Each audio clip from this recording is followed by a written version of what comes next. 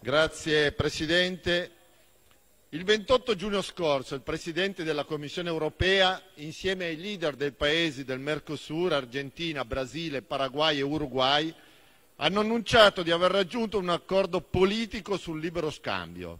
Il 1 luglio 2019 la Commissione ha reso noto i risultati dell'ultimo e definitivo round negoziale, del quale si evincono la liberalizzazione delle importazioni dei seguenti prodotti: carne bovina 99.000 tonnellate, pollame 180.000 tonnellate, carni suine 25.000 tonnellate, zucchero, l'eliminazione del dazio contingentale su 180.000 tonnellate, etanolo 450.000 tonnellate, 60.000 tonnellate di riso, 45.000 di miele e 30.000 tonnellate di formaggio esente dazio. L'accordo crea un mercato effettivamente di oltre 780 milioni di consumatori, però lo scambio commerciale favorisce i settori europei dell'industria, in particolare l'automotive, la chimica e la farmaceutica, e in cambio permetterebbe l'accesso di prodotti agricoli sudamericani, in particolare carne e zucchero. Mi preme però ricordare che gli accordi non solo devono tutelare le produzioni agricole europee e italiane, ma devono anche salvaguardare la salute dei consumatori.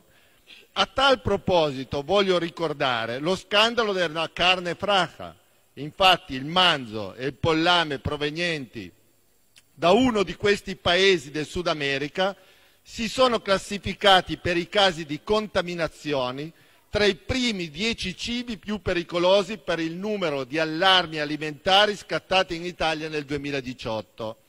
Inoltre, sempre nello stesso Paese, dall'inizio dell'anno sono stati approvati ulteriori 211 pesticidi, di cui molti vietati in Europa e moltissimi vietati in Italia.